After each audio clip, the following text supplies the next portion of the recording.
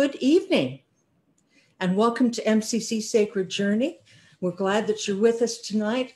If you're on Facebook, I hope you'll give us a like or comment and let us know that you're here and let us know where you're from. Um, we begin, as always, knowing that we are in the presence of God, which means we are all one in God's presence. So let us begin this evening by offering each other sign of Christ's peace. May God's peace be with you. And please share that peace with whoever you might be with.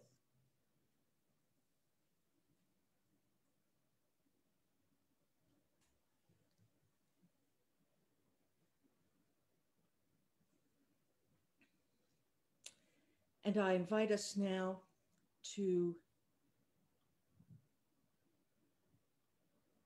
join together in singing our opening hymn is How Great We Are.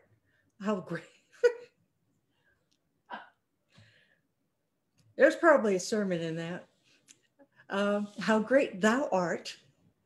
We'll sing a couple of verses and uh, the words are on the screen. So I invite you to mute and sing loud as we join together.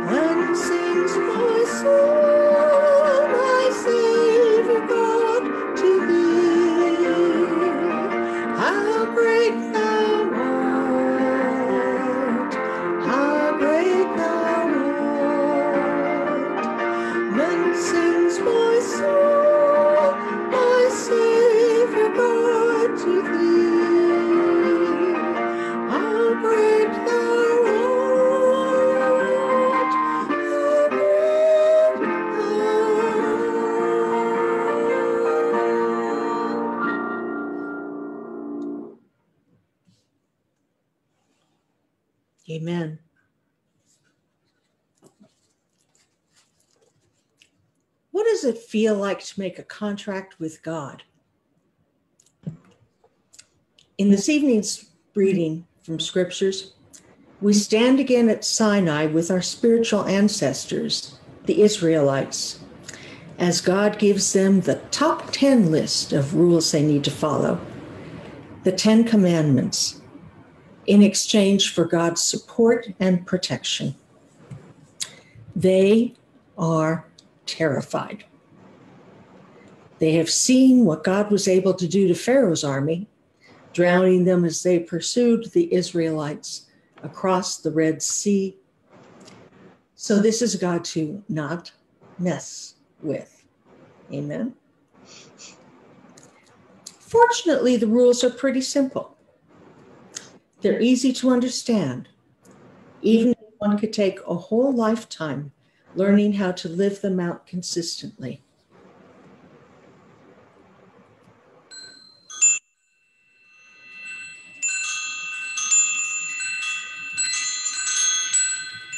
Are you ready to say yes to God all over again? Let's mark our approach to the holy this evening by lighting our candles.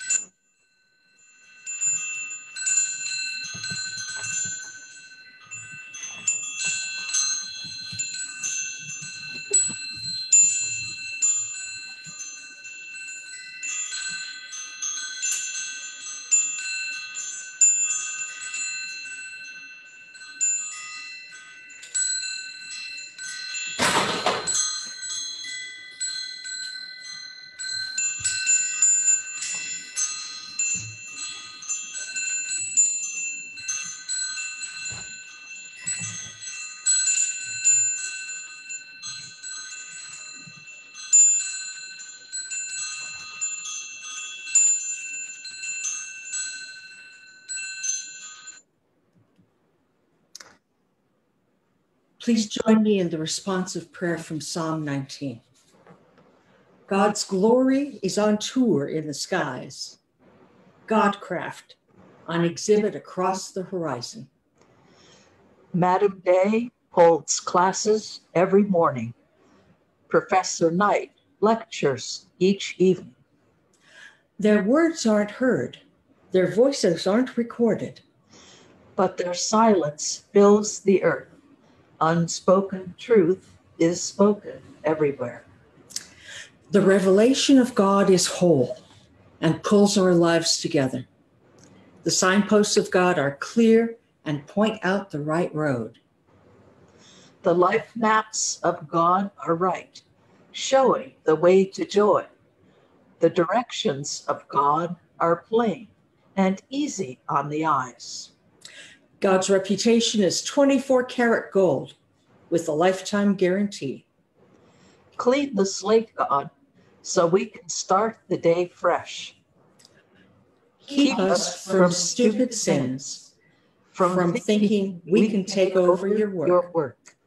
Then, we can, we start this day sun washed, scrubbed clean of the grime of sin. Amen.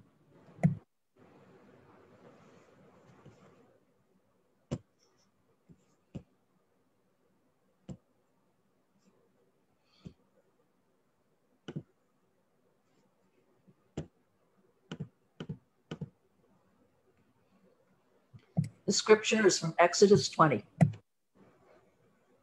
God spoke all these words I am God, your God, who brought you out of the land of Egypt, out of a life of slavery. No other gods, only me. No carved gods of any size, shape, or form of anything whatever, whether of things that fly, or walk, or swim don't bow down to them and don't serve them because I am God, your God, and I'm a most jealous God, punishing the children for any sins of their parents, pass on to them the third, and yes, even to the fourth generation of those who hate me. But I'm unswervingly loyal to the thousands who love me and keep my commandments. No using the name of God, your God, in curses or silly banter. God won't put up with the irreverent use of that holy name.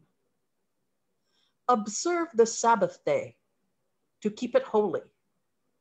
Work six days and do everything you need to do. But the seventh day is a Sabbath to God, your God. Don't do any work, not you, nor your son, nor your daughter, nor your servant, nor your maid, nor your animals, not even the foreign guest visiting in your town. For in six days, God made heaven, earth, and sea, and everything in them. God rested on the seventh day. Therefore, God blessed the Sabbath day. God set it apart as a holy day.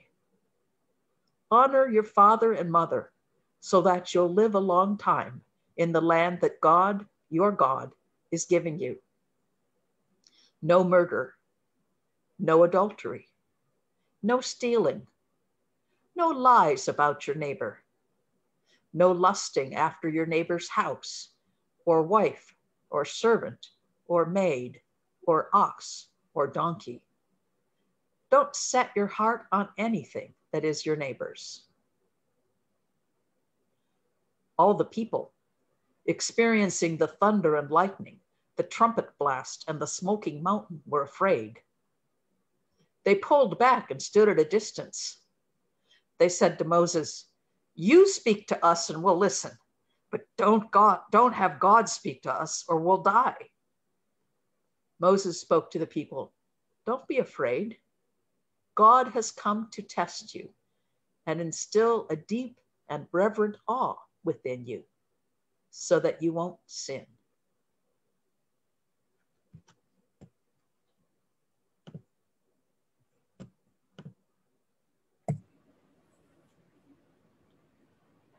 Amen. Thank you, Sherilyn. It probably didn't look quite like it did in the movie The Ten Commandments. Though I wonder what Cecil B. DeMille would have done with this text if you're making the movie today. Will you pray with me, please? Holy One, I thank you for this day, for all of its blessings and for all of its opportunities. And I pray that the words of my mouth and the meditations of our hearts might be acceptable in your sight, and that together we might discover your word and your wisdom for us today. Amen.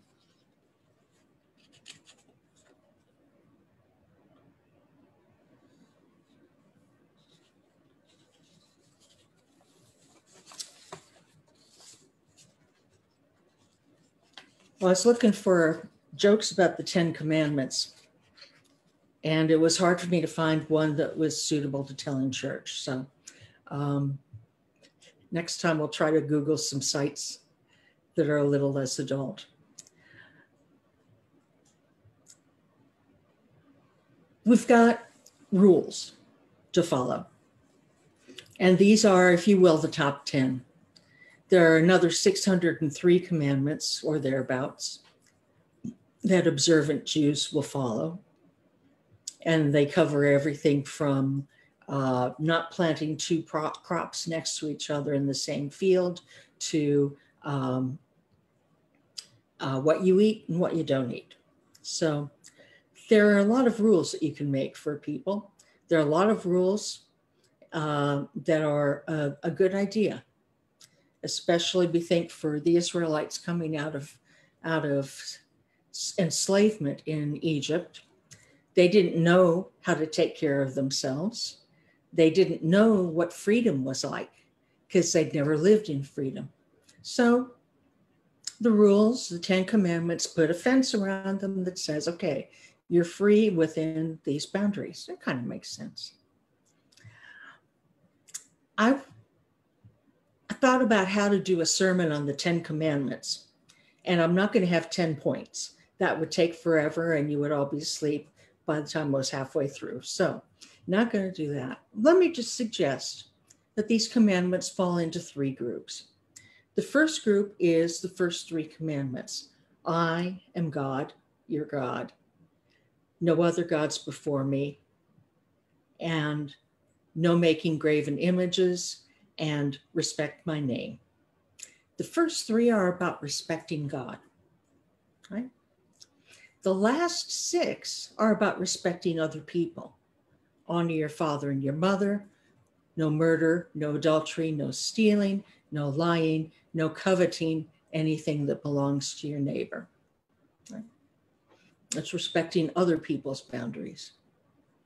I think the fourth one kind of ties them together because honoring the Sabbath day, keeping the Sabbath day, is about respecting God and respecting other people, and also, I think, about respecting ourselves. So, I'm going to say a little bit about false gods and a little bit about keeping the Sabbath. And I think that'll give us plenty to think about for the week. When we talk about false gods, uh, nowadays we don't have pagan gods, uh, the old, you know, roadside shrines to gods that were here before Christianity, gods that people worshiped before Christianity. It's very different from the time of the Israelites. Usually, when we talk about not worshiping false gods, we think about ideas or uh, qualities in our lives rather than personages. For example, uh, the love of money is the root of all evil. And for some of us, money is a false god. Um, you know, if you think about Ebenezer Scrooge in Dickens' A Christmas Carol, um, he lived for money, and that was it. He lived for profit, and he had no use for anything that didn't bring him profit. That's a false god. Amen. Uh, sometimes our pride is a false God. Um, I can't believe I offered a sermon illustration by trying to invite us to sing How Great We Art. Um, not that there's anything wrong with any of us. We're all good. We're all wonderful. We're all fabulous.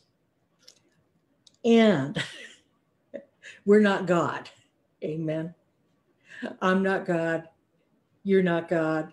God is in us, but you know, God's in charge, we're not. So that's so that could be a false God, worshiping ourselves. Marsha Stevens Pino talks about another kind of false God, and that's the God that sometimes this passage has us thinking about.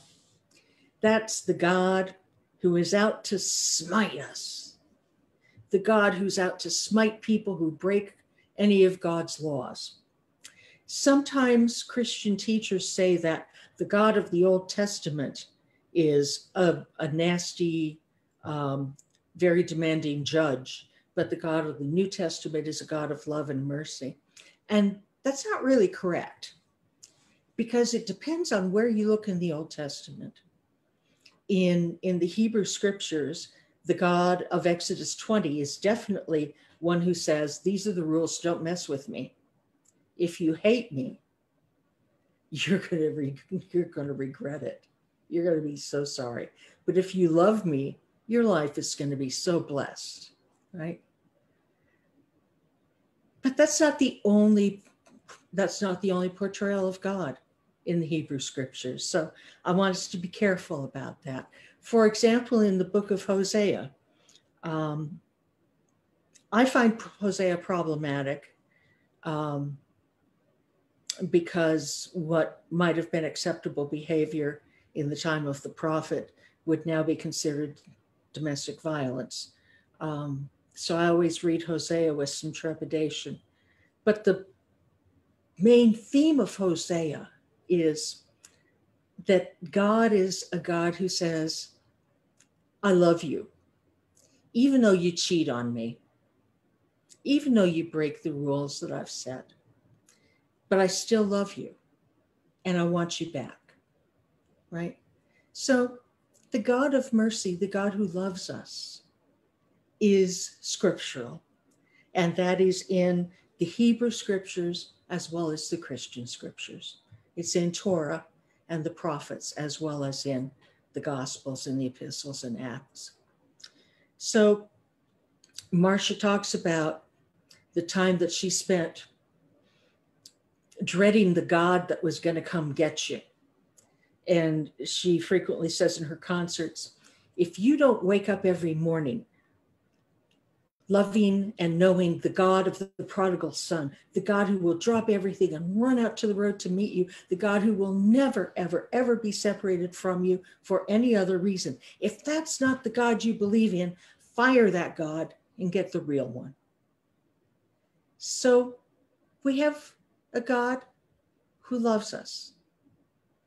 And even if the Israelites were scared to go up on the mountain, we don't need to be scared about inviting God into our lives. So that's one false God that's worth firing. Amen. The commandments about respecting other people, they're kind of obvious. They're kind of the basics, right? Don't murder. Don't do violence in speech. Don't steal. Don't borrow people's intellectual property without giving them credit for it and paying them for it if it's appropriate, right? You can go on and on developing those rules. But they're about setting the boundaries that allow all of us to live peaceably together. So, how about the Sabbath day? A bunch of us were together outside, appropriately physically distancing yesterday. Um, it was so wonderful to see you all in person.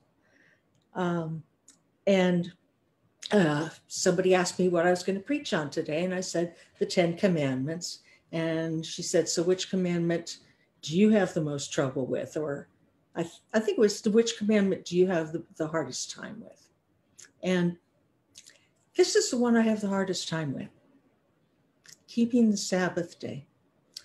Uh, it's an occupational hazard for a preacher because Sunday is a work day for me. I know this doesn't look like I'm working, um, but it is. It's a work day. So I have to make sure I take a Sabbath some other day. To take a day off completely, sometimes I have trouble doing that. I don't know about any of the rest of you, but you know, it may be easier for those of us who are retired to say, okay, this is a day I'm not going to do any work. I'm not going to stress. I'm just going to relax, appreciate the earth, give thanks to God for my life, spend time with those that I love. That's Sabbath. That's what it's supposed to be about. Sometimes I think some of us have trouble keeping Sabbath because that false God of, of me gets in the way. I don't think the world can turn without me for one day. Uh, last time I checked, it can. Um, like I said, I'm not God. I don't keep everything moving. You know, I I've been on this earth for years, and I will not be on this earth forever. And when I'm dead, there will still be bluebirds and black-eyed Susans and stars and the moon in the sky and the sun in the sky. And they will go on and on and on, God willing, unless unless we're foolish enough to destroy life on the planet. You know, God willing, this world is going to go on and on and on. So it doesn't, it's not because we have to keep working to keep the world going on. And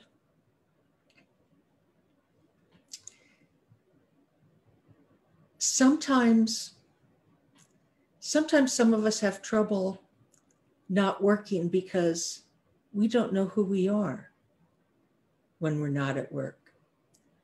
There's a there's a campaign commercial that's I've seen on TV a lot where one of the candidates mentions that a job is is is more than just a paycheck, it's your identity, it's who you are. And that's true. You know, when people ask who, you know, what what do you do? I tell them I'm a I'm I'm a preacher, I'm a pastor, and I'm also a part-time college professor. So what I do for a living says something about me and my skills and my interests and my passion, fortunately, my passions. I'm fortunate enough and blessed enough to be able to do work that I love that's in my wheelhouse. For some of us, we take that so far that we don't know what to do when we don't have a job anymore.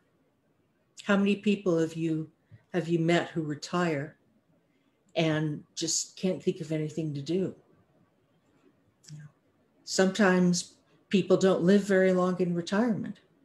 They just can't think of what to do and don't have a reason to keep living. Well, God calls us to be human beings. The Sabbath reminds us to be a human being instead of a human doing every now and then. You know, we are our work, and up to a point, that's a good thing, but we are so much more than that. We're people who love. Amen. We're people who create art, who create music, who play athletics and play sports and give other people the fun of, of watching us enjoy and use the bodies that God gave us. We have all different kinds of things about ourselves that are that are beautiful, that are relaxing, that are recreating. And when we are creating things, we're being in the image of God because God's creation is not finished. And God's creation continues in part in the things that we co create with God through our lives. So there are 10 rules to remember, at least the top 10. If you do those, you're doing very well. Respect God. Respect God's name. Respect other people. Don't hurt them. Don't lie about them. Don't covet what they have. And respect the Sabbath. Respect God and other people. Don't make other people do things for you on the Sabbath. Don't work yourself. One moment, please.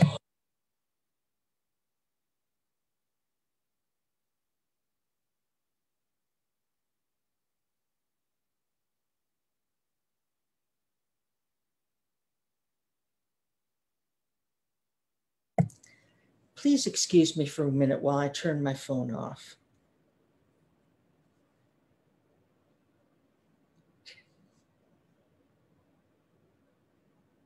There.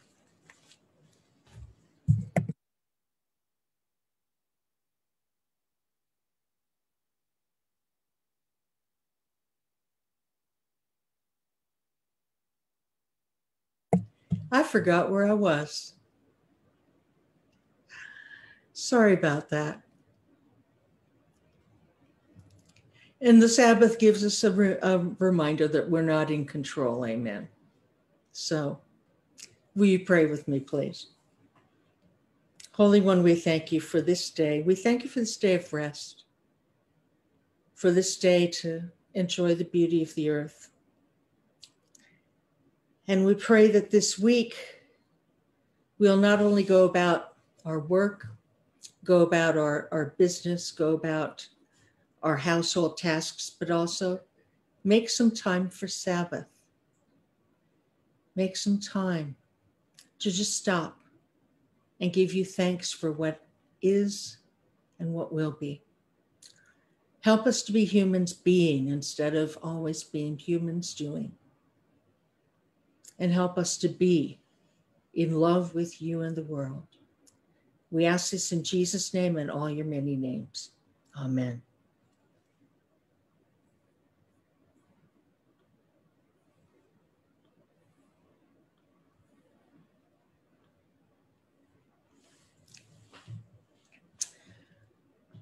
This evening, we have an opportunity to give thanks to God in, in offerings back to God, whether you offer uh, a donation to Metropolitan Community Church Sacred Journey or someplace else, we invite you to take this time to give, to be generous as God is generous. And I also want to remind you that Interfaith Assistance Ministry needs our help more than ever. We are still collecting items to give to their pantry to help our neighbors who are in need.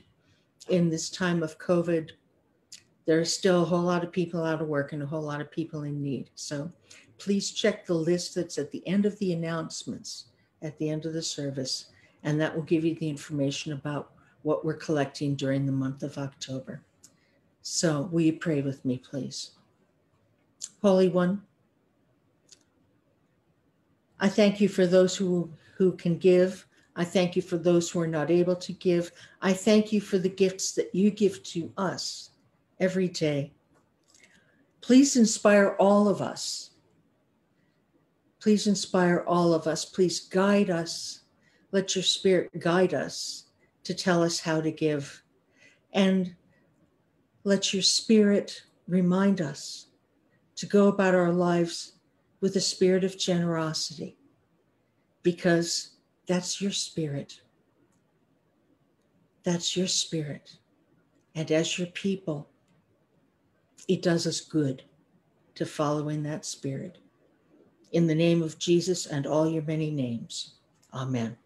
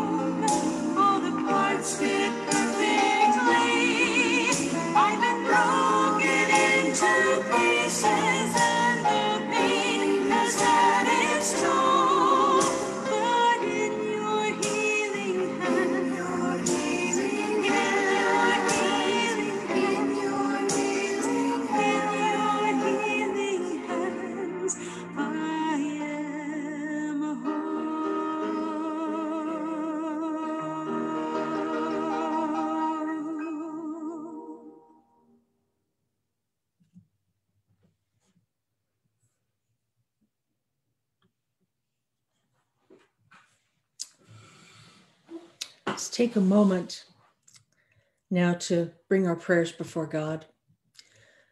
We pray for pray for our church, for the members of MCC Sacred Journey and the friends, and God that you would make us your church in this world. We've got outside the building. We're not stuck in the building anymore. So help us to be your church as we move through the world this week. And we trust that you will bring us the resources that we need. We pray for those who are dear to us, family members and friends. We pray for the serenity of everybody who's in need of serenity, for the peace of those who are worried about what's going to happen next or what's going to come tomorrow. We pray for healing for those with COVID 19, for Renee, for the president and the first lady, for all those other people, all those other people in that body of 7 million who are still sick, that they might find healing. We pray for caregivers that you would sustain them. We pray for those who've lost loved ones to this or any other illness, that they might be comforted. And we pray, God, for a cure. We pray for our country, that you would guide us in this election season to choose leaders who will be the leaders you would have in our government, that they would have a heart for the good of the people. We pray for Joe for healing for Kay, for Sherilyn, and for Jenny and Linda, for those who are on your hearts that you wish to name right now. For our friend Nancy, who was in a, a car accident this past week. Yes, God. Yes, God. Bring her healing and wholeness. We pray for safe travel for Jean and Hillary, for safe travels for Sharon, and for safe travels for everyone who commutes.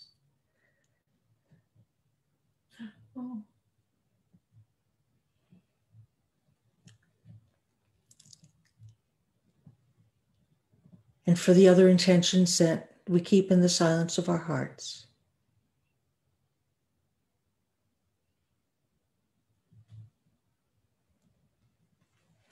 And together,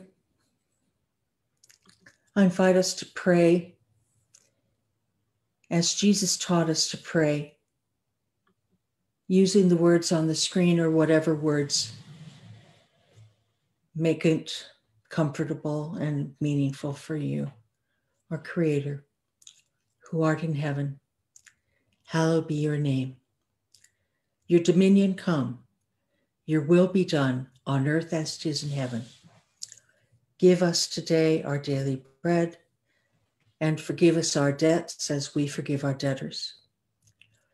Save us from the time of trial and deliver us from evil. For the dominion and the power and the glory are yours now and forever. Amen.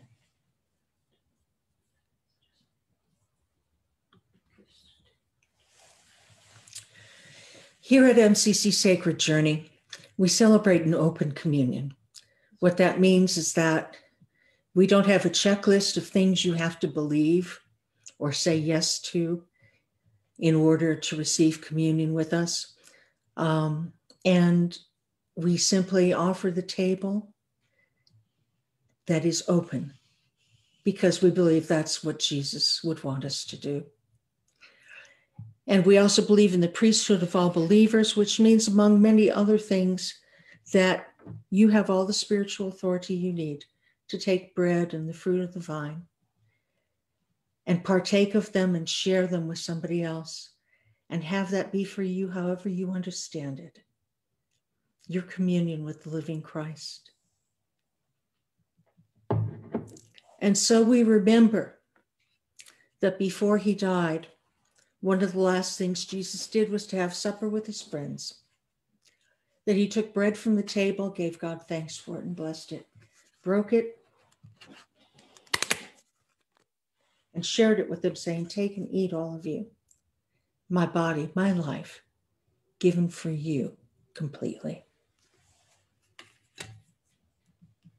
And he took a cup of wine from the table, gave God thanks and praise for it, blessed it, and shared it with them, saying, Take and drink, all of you. This is my love, my life poured out for you so that sins might be forgiven. Poured out so that humankind, might be reconciled with God once and for all. So drink this, take it inside of you and remember me.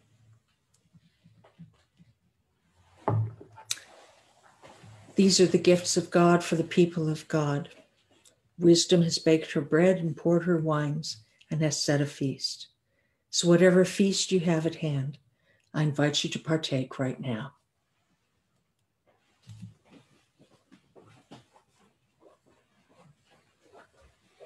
Gentle shepherd, come and lead us, for we need you to help us find our way. Gentle shepherd,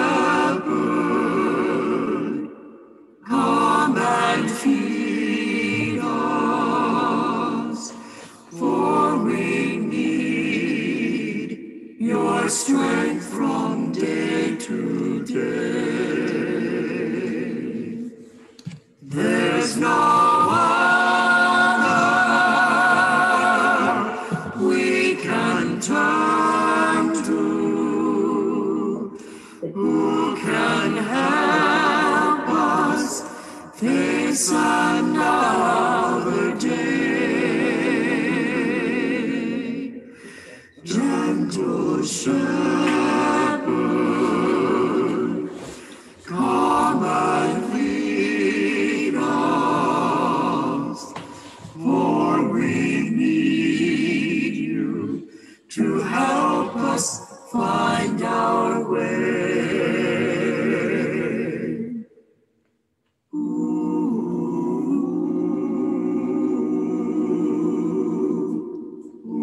Follow you, gentle shepherd, because you call us to lives of love and justice, lives of compassion and tolerance. But then we hear others talking about how much they love you, and how can they love you if they do not even love all those you love? We know, Jesus, that you prayed and hoped and even believed that this world could become like heaven. So make us your hands and your feet, your voice, and especially your heart, until all the children of earth understand that though we are many,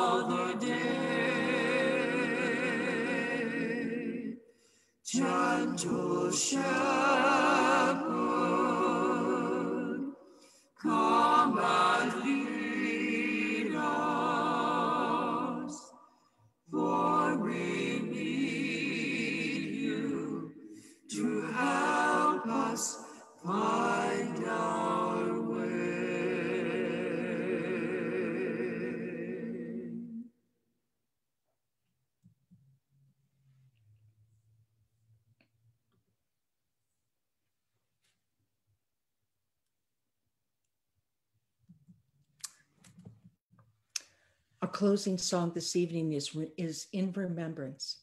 The words are on the screen. I invite you to sing.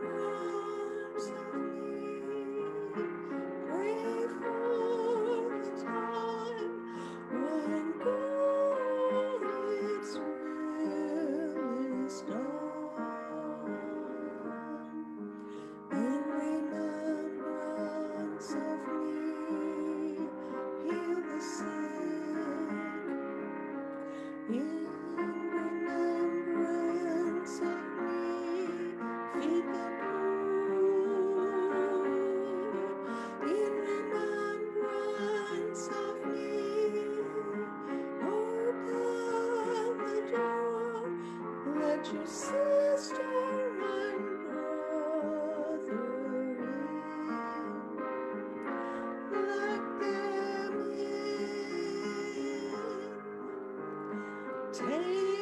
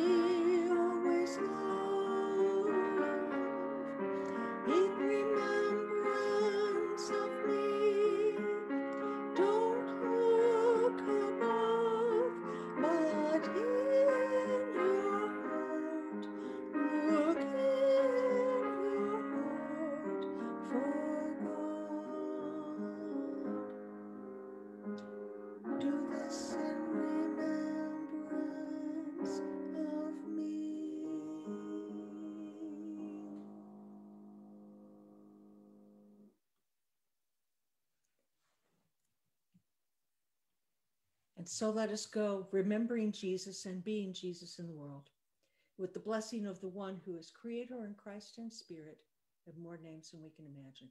God loves us. Let's go share that love and let the people sing. Amen.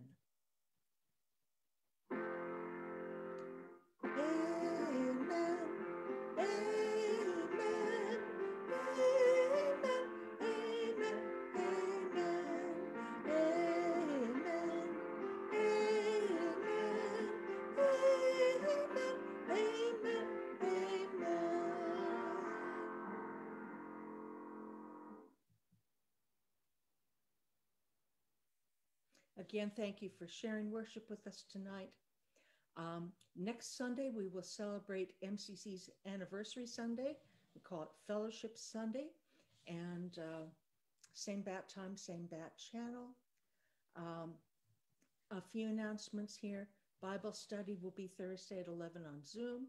And I want to thank Paul Wolf for his many years of contributing his gifts of music for MCC Sacred Journey. Paul has graciously allowed us to use some of his recorded accompaniments going forward. Um, but he's going to step back from this and um, take care of his life, which is always a good thing to do.